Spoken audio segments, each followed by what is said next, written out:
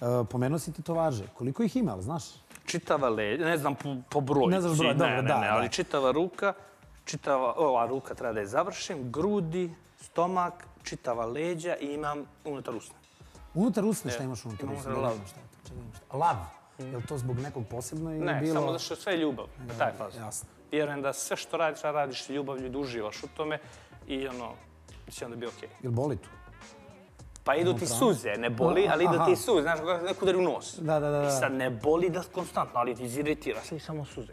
A koji su ti motivi, koji ti se motivi nalaze na, na telu? Je li ono Sve nešto porodice vezano, i to ono, ljubav? da, ima majku, ja, Tupak, zato što ono, uvijek sam slušao njegovu muziku i inspiriše te način na koji on razmišlja i šta on pro, promovisu, da kažem. I onda imam ovdje i Anthony DeMello, to je ono kao prosvjetljenje, kao duhovnost. Uh, B-boy kad sam breakovo, onda četiri elementa je hip-hopa, kao onda onda lobanjica kao lobanje, onda kao hip-hop, onda kao save my life, onda kao mind is everything.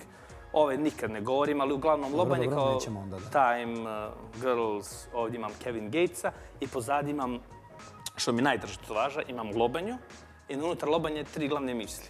Lijevo ja i djevojčica, kao moje, moja čerka, i onda Letter to my unborn child od Tupaka.